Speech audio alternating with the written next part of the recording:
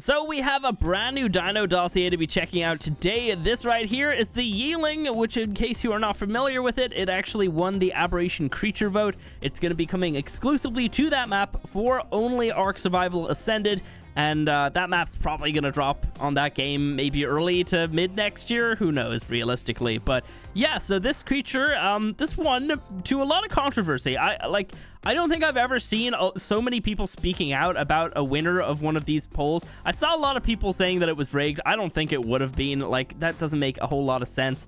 Um but yeah i do have to say I was a big critic of this guy, but after reading what it can do, you know, it doesn't sound that similar to a Rock Drake, which is what I was kind of worried about. It seemed more of like a pseudo Rock Drake in my opinion, but I don't know. You'll see in just a minute. But anyway, this is it right here. I will say, looks wise it looks exactly like a Deinonychus with just a bird face in my opinion right like I can't be the only one that thinks that um, I saw a lot of criticism of the fact that its tail wasn't long and flowing like in the uh, the submitted ideas, but obviously, you know, they're not going to take exactly what people were submitting and turn that into the critter for the game. So, um, yeah, this is their take on it, and I mean, regardless, it's a new creature, so I'm going to be checking it out when it does drop, and I'm sure it will be fun. I, do have to say, colors-wise, um, I'm excited to somehow make this all blue, uh, mostly glacial blue. That's probably what's to happen, but um, yeah. Anyway, so let's read over the dossier. Hey, just a quick heads up, I didn't read it directly off the dossier, I read it off the page, and for some reason that doesn't match what's on the dossier in some bits, so yeah, I don't know what went on there.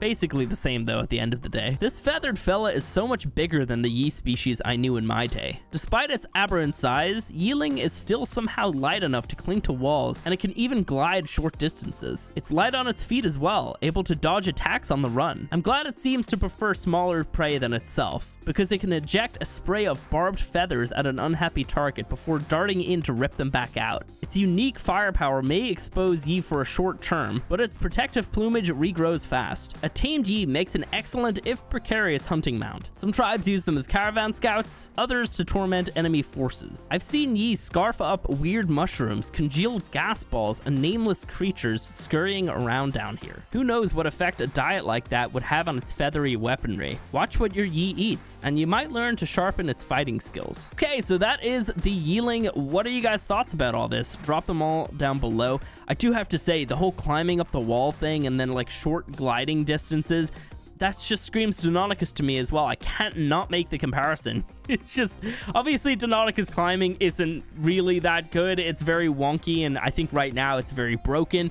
But um, yeah, I don't know. Like, and then obviously, I guess the, the gliding on a Deinonychus is more of like a suspended jump instead of a proper glide. So all in all, I am gonna assume that it's not gonna feel anything like riding on a Deinonychus, but at the end of the day, I, I do like these ideas. They sound pretty cool. Uh, the whole feather thing sounds great as well, just being able to like basically become naked by shooting out all your feathers and then slowly having them regrow. So uh, occasionally you might see like a giant naked chicken just running around the the uh, depths of aberration. Um, I do have to say, where is this thing gonna spawn? It still screams like fertile forest to me, right? Or am I wrong? Is it actually gonna spawn down in the bioluminescent area? And then I guess the other question I have is, will it be able to withstand radiation to allow us to go down and get some rock drake eggs? So lots of questions that I have to, uh, of course, wait to get the answers for. But um, yeah, I don't know. What do you guys think? Where's this thing gonna spawn on Aberration? Because like obviously Aberration is separated out into like three different zones. You know, you have the green zone, the blue zone, and the red zone. So where's it gonna spawn? I do actually really like the whole feather thing. Depending on what you're eating, you can power up your feathers with different uh, items or maybe just I guess different places that you're harvesting. I don't exactly know. Maybe it's specifically what you're feeding them. So you might have like something like what are they called? The Ascerbic mushrooms. They're like trank mushrooms essentially. So you might be able to actually trank out some creatures or maybe it wouldn't be as powerful. More of like a kind of a thorny dragon effect where it's a little bit of torpor but not that much. Um, either way though I, I, I like that idea. I'm hoping that they add in some like very specific like unique kind of ideas to that because there's a lot that you could do with that you know? The whole like different resources on aberration. Aberration introduced like so many different resources. We had like a bunch of gems a bunch of mushrooms like the gas balls all these different things. So um yeah, I don't know. We'll, we'll, have to wait and see what that actually does. So excited though. I, I, mean, it definitely sounds like an interesting creature. And at the end of the day, a new creature is a new creature. I'm gonna tame it. I'm probably gonna like it, regardless of how I felt with this whole vote. I still really would have wanted the um the giant spider, the chimera, and I know a lot of people really liked the jumping spider. I would have been happy with that as well, but.